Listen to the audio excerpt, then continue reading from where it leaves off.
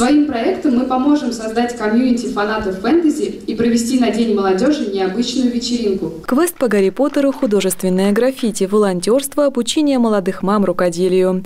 Самые разные яркие креативные идеи звучали на сцене молодежного центра. Здесь проходила защита проектов ежегодного городского конкурса «Саров молодежь». Ресурсный центр добровольчества представил на суд жюри проект «Школа волонтеров». Немного введет в курс дела о волонтерской деятельности, также мы а, в формате форсайт-сессий расскажем о небольших мероприятиях э, в направлениях.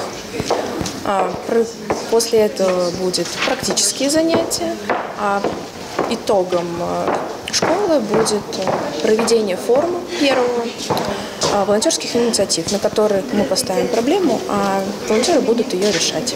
Студенческий педагогический отряд СРФТИ «Адастра» подготовил проект «Арт-район», в котором граффити будет не актом вандализма, а произведением искусства.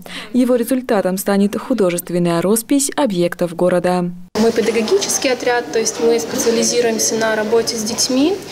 И в рамках своей деятельности мы хотели бы провести несколько мастер-классов для школьников, подготовить их э, в сфере художественного творчества, для того, чтобы в будущем они расписали стену на пересечении Силкина и академика Харитона в рамках патриотических, э, каких-то духовных акций. Три минуты выступления и три минуты на вопрос вопросы, регламент был жестким. К подготовке проектов участники подошли серьезно. Многие приняли участие в акселераторе «Управляя изменениями», где в течение двух недель проходили образовательную программу, тщательно готовили проектную заявку, консультировались с экспертами. Как правило, по итогам конкурса все инициативы, которые выходят сюда на, кон, на конкурс, э, получают свою поддержку. Даже не став победителем, ребята находят помощь, партнеров и тех людей, которые помогают им воплотить свою идею в реальность.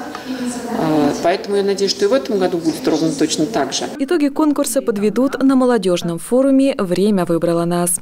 Анна Пелепец, Евгений Шикарев, Сергей Рябов. Служба новостей Саров, 24.